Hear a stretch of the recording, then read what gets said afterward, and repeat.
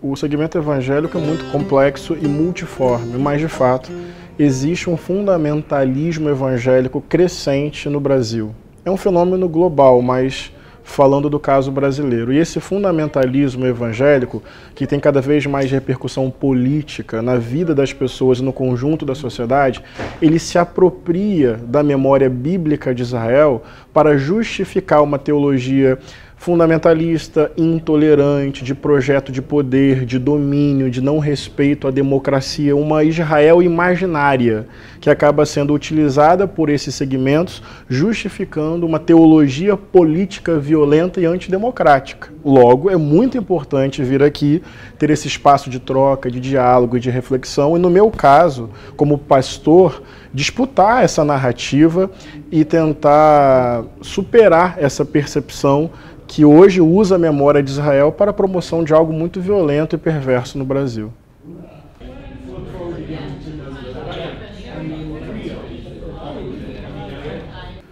Uma experiência cultural muito profunda, muito complexa. Dá para, dá para perceber que os debates sobre essa região não são debates simplórios e fáceis.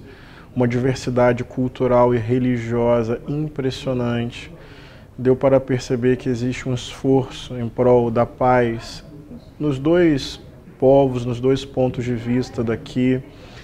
Deu para ter esse aprofundamento cultural, ainda muito insuficiente, absolutamente introdutório, mas me aproximou de uma diversidade cultural, política e religiosa absolutamente instigante e impressionante. Volto muito mais desafiado do que tendo compreendido tudo.